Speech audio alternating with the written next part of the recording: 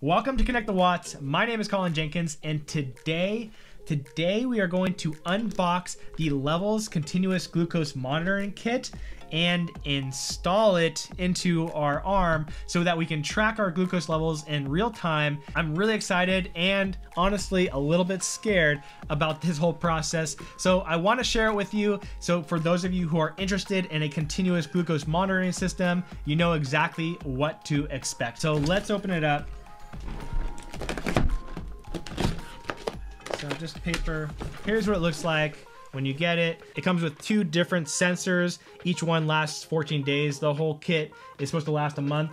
This part, I believe, is just from the pharmacy. So that's what that's for.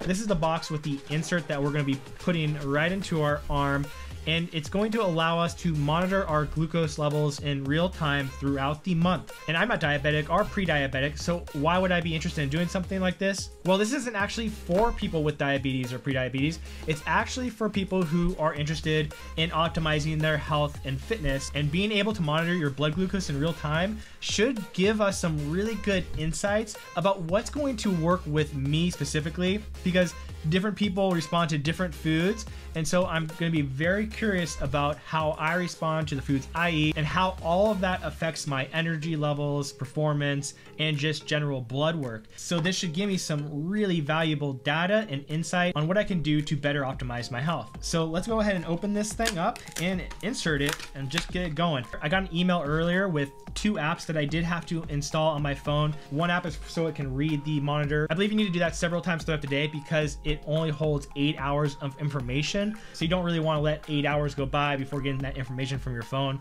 which is why they suggest like right before you go to sleep and right when you wake up that you should get that data. Um, so it comes with this little pod thing and this little pod thing, which I think is the insert, and it comes with instructions, but who needs those? But let's see if I did it right. When you're inserting something in your body. I'm just kidding. I watched a whole video on this earlier. Trust me, I'm very worried about this. Oh yeah, almost forgot.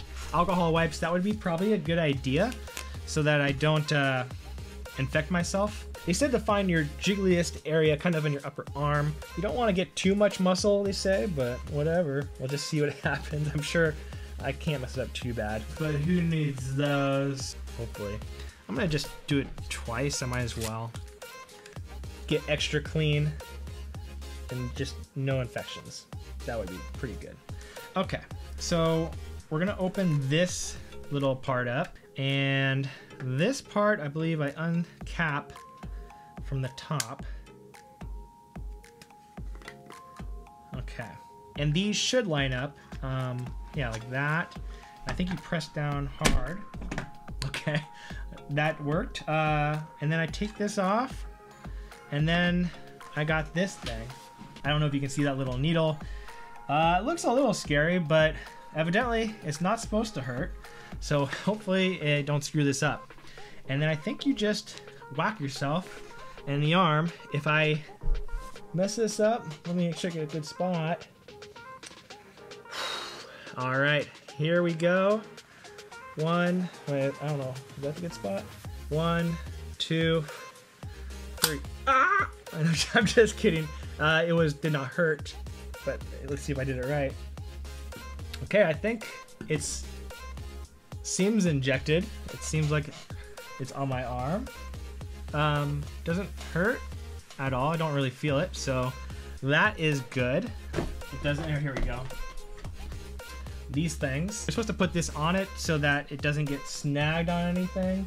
Um, but let's just do that here. So after we get this thing on, we're gonna connect it to the app. And once it's connected to the app, it should take about an hour for us to get our first reading. All right, I got that on there. That's pretty cool. You know, I feel it a little bit in my arm, but I think that's more the adhesion than anything. We're gonna look at the phone and we're going to see if we can connect this thing. Let's see.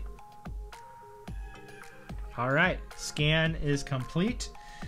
Uh, sensor is going to be ready at 159.